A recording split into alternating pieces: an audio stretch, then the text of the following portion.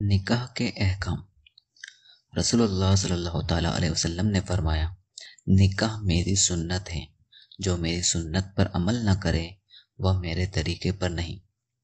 दूसरी अहदीस मुबारक में रसूलुल्लाह सल्लल्लाहु अलैहि वसल्लम ने फरमाया, जो शख्स अल्लाह ताला के हुजूर तय्यब ताहिर, पाक साफ़ जाना चाहता है तो उसे चाहिए कि आज़ाद औरतों से निकाह करें।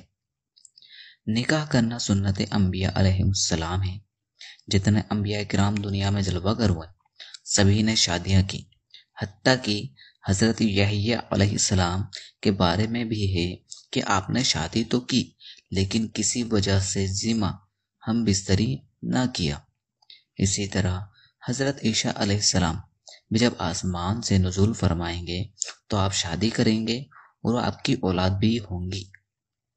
निकाह और उसके हकूक अदा करने और औलाद की तरबियत मशगुल रहना। नवाफिल में मशगुल रहने से बेहतर है। मर्द के लिए बाज़ सूरतों में निकाह करना फ़र्ज़ और बाज़ सूरतों में निकाह वाजिब हो जाता है।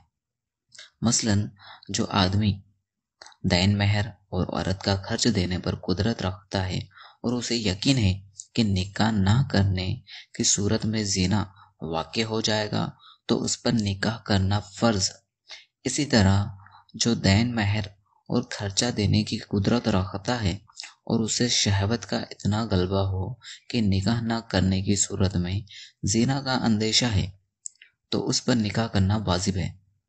अगर दरमियान की हालत हो तो निकाह करना सुन्नत मौकदा कि निकाह ना करने पर मुसीर रहना इजाद है।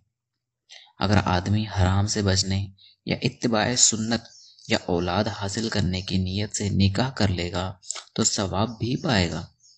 जो शख्स महज लज्जत या कजाय शहवत की नीयत से शादी कर ले तो उसके लिए निकाह करना मुबा है। जिस आदमी को यकीन हो कि निकाह कर लेगा तो नानो फक्का ना दे सकेगा, या जो ज़रूरी हकूक है, उनको पूरा ना कर सकेगा तो उसके लिए निकाह करना हराम है और जिनको इस बातों का अंदेशा हो तो उसके लिए निकाह करना मकरू है। खुलासा यह है कि बाद सूरतों में निकाह करना सुन्नत और बाद सूरतों में फ़र्ज़ है।